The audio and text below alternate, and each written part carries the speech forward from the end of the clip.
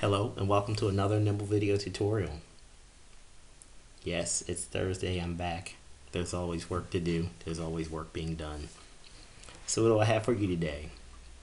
If you have been following my board, my Trello board, you probably noticed that the last three items that I worked on had to do with making menus more dynamic, uh, cleaning up some of the UI with respective window styles, and enabling uh, image and icon support drop-down menus. So I'm going to show what I've uh, enhanced for you today.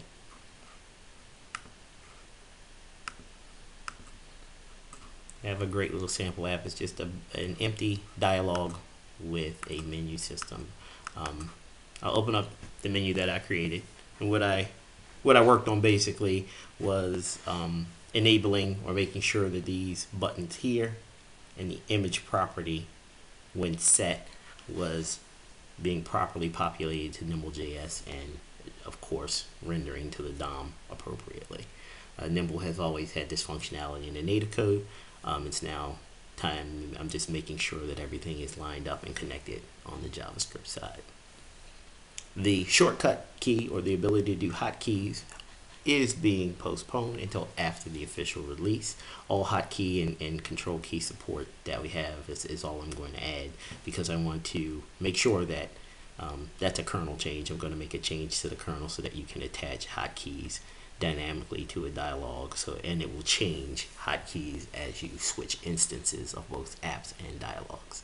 So that means it will reuse uh, you can reuse certain control keys in various applications and what they should not collide. So that's a, that's a major enhancement. I'm going to make sure I try to include that after the release.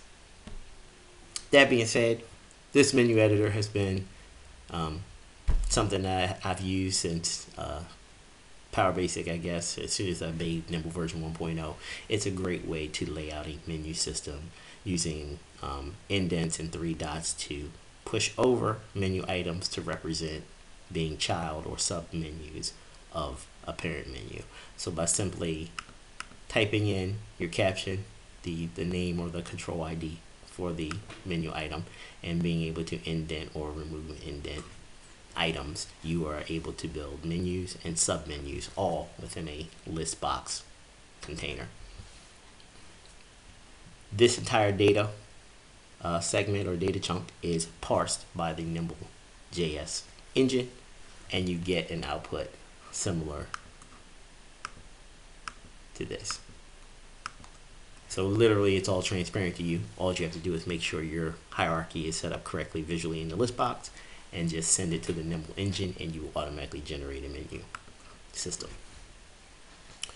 What I did like about the original system, the one we have here, is it takes up about 20, and it is customizable. It takes up some of the real estate on your dialog when you have a menu system.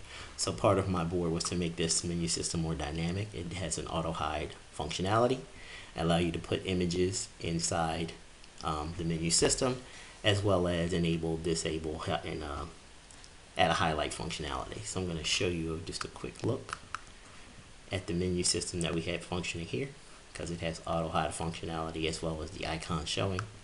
You can highlight a menu item and this one is disabled because as you see the mouse does not allow you to click on it. Oh, I'm sorry. The mouse does not allow you to click on it. It doesn't change to a pointer. Once this application is compiled or built within Nimble, you'll notice it does look slightly different than way, the way it looks in the IDE.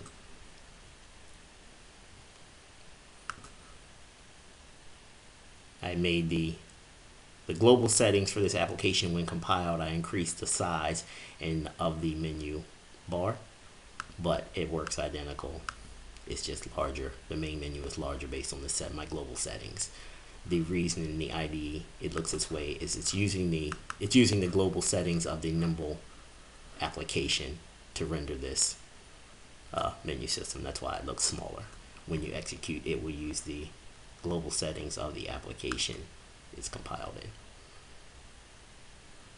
Just wanted to give you a good look at the enhancements I've made to the menu system. I was able to recapture my real estate so now I don't have to worry about uh, these menus dropping and, and taking up some of my dialogue real estate, and it, it seems to work really nicely. That's all I got for you today. Dynamic menu systems, icons, and soon after the release, maybe hotkey support.